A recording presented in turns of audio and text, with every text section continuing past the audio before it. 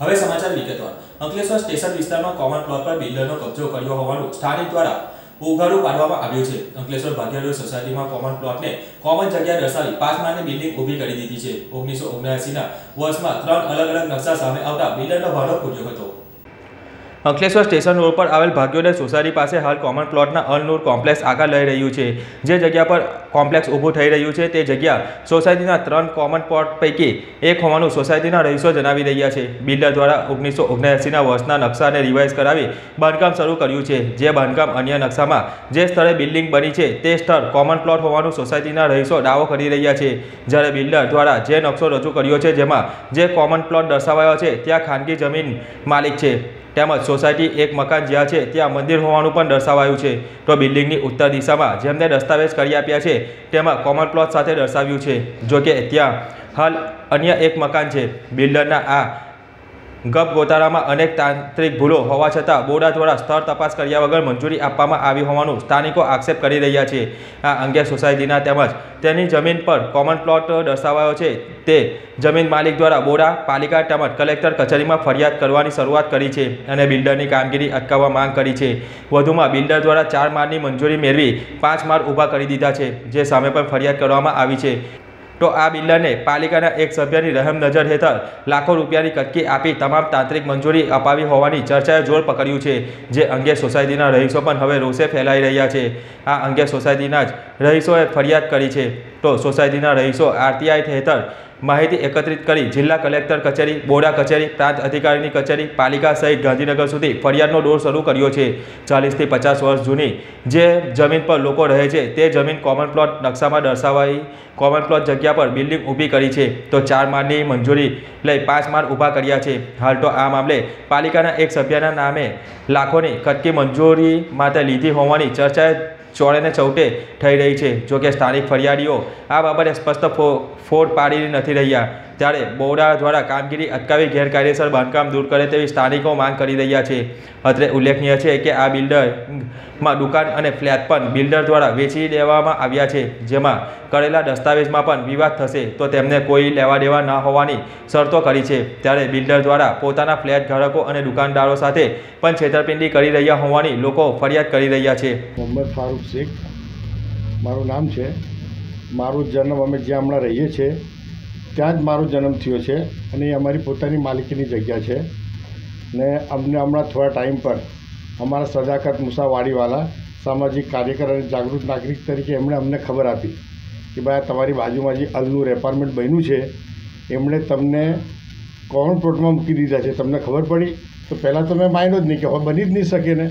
કેમ કે જે અલનૂર એપાર્ટમેન્ટ છે, તે અમારા મિત્ર બનાવે છે. મેં કીધું, અમારા મિત્ર અમારી સાથે એવું ના કરી શકે. તેણે કીધું કે ચાલો હું તમને સબૂત આપું છું. પછી એણે આવીને જ્યારે અમને નકશો બતાવ્યો, ત્યારે અમારા જમીનની પગની નીચેથી જમીન ખસી ગઈ. કે આવું બની શકે? ત્યારે પછી મેં મારા સાથી અને મિત્રોને વાત કરી બિલ્ડરોને. મેં આવું તમે કેવી રીતે કર્યું? આપણે નાનાથી મોટા સાથે થયા, સાથે રહીમાં ને તમે આવી રીતે કર્યું? તો એમણે કીધું કે ભાઈ, અમે કંઈ નથી કર્યું, ને અમારા તરફથી કંઈ થયું નથી. એમણે અહીં સુધી કે એમના બાળકોની કસમ ખાધી. આ જે થયું છે તે બોડાની ભૂલથી થયું છે. અમે કંઈ કર્યું નથી. તો કંઈ વાંધો નહીં. અમારે તો ઘરને એ લોકોએ કોમ્પ્લોટ બતાવ્યા છે. એટલે હવે અમારે તો એને પાછા અમારે જે પોઝિશનમાં છે, અમારી માલિકીમાં પાછા લાવવા છે.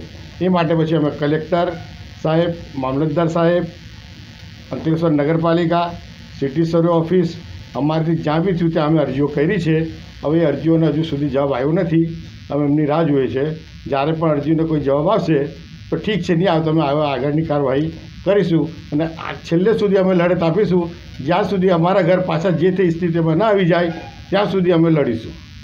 તકલીફમાં એ છે કે જ્યારથી અમારા અહીંયા પેલું એપાર્ટમેન્ટ બન્યું છે, અન્નુર, તે બનવાથી અમને જાણ ખબર પડી કે મતલબમાં અમારા જે પ્લોટ છે, એ કાયદેસર ના હતા એને કોમન પ્લોટ બતાવ્યા છે. અને અન્નુર જે પ્લોટને ખાલી પ્લોટ હતો, એને કાયદેસરનો બતાવ્યો છે.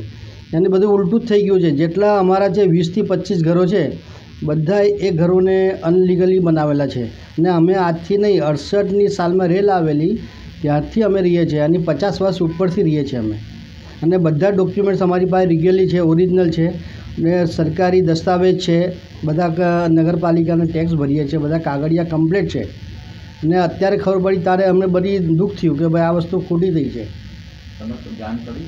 જાણ કરી છે બધી જગ્યાએ અરજીઓ કરી છે મામલતદારમાં નગરપાલિકામાં બોર્ડામાં કલેક્ટરમાં જવાબ આવ્યો કે નહીં ના હજી જવાબ આવ્યો નથી આવશે તો જોઈએ ના આવશે તો પછી આગળ જઈશું અમે डॉक्टर अब्दुल खालिक मलिक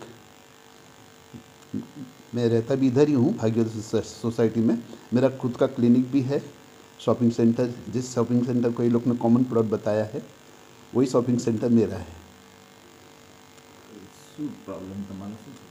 प्रॉब्लम में तो ऐसा है ना कि जिस चीज़ को इलीगली प्रॉपर ये लोग बताना चाहिए कि वो कॉमन प्लॉट है, वो उसको कॉमर्शियल प्लॉट बता दिए। और जिसको मतलब में हम कॉमर्शियल वाले हैं तो हमको इलीगल बता दिया कॉमन प्लॉट बता दिया। ये तो कोई रीत है यार।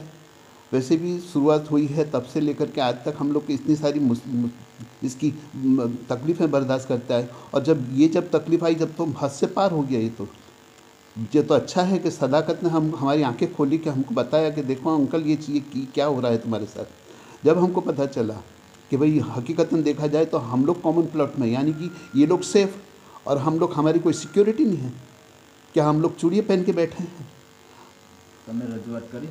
रजुआत रजुआत अभी हम लोग ने आगे ये हमारा सदा ये जो मूसा है उसको हम लोग ने अभी आगे रखा है। अगर ज़रूरत पड़ेगी तो हर तरीके से हम लोग आजमाएँगे कोई बैठने वाले नहीं हम लोग।